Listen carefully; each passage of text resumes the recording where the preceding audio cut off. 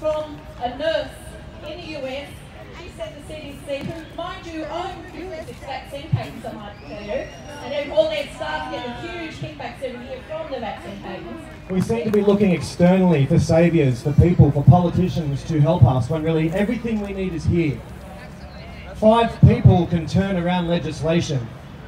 Five motivated human beings can change everything. And look how many people are here. Everybody who matters is here right now. So give yourselves a round of applause. Come on. I don't care if you woke up five days ago. You are here and you were born for this, for a purpose. Find what your purpose is within this movement. There is room for everyone and there is room for every single topic. As I said, my topic Can I sit at the window where you are? All right. You just sit there because I want to sit in the window. Daddy, move! Okay.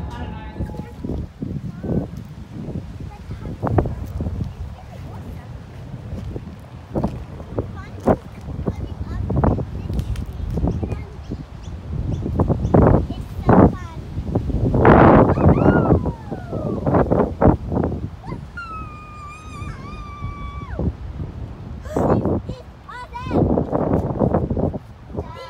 Hmm. I want to eat, please.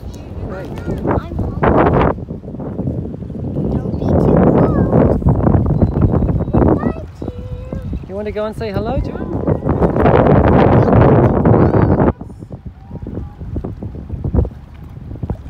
Don't go